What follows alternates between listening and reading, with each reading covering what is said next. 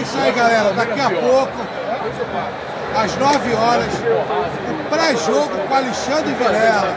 Meu amigo que é aqui do lado. Estou aqui já dentro do Maracanã, lá fora está insustentável, insuportável, lotado, galera. Então, daqui a pouco eu vou estar tá fazendo aqui de dentro do Maracanã, pelo menos vou tentar, né? Vou tentar fazer. Vamos ver como é que vai estar tá aqui a, o celular aqui no Maracanã, quando tem muita gente, Perol, tive problema, né? Então vamos ver se eu consigo fazer. Qualquer coisa eu pego o celular do Aeto. Vou ver se meu celular tá, consigo fazer. Tem o vivo, tem o claro.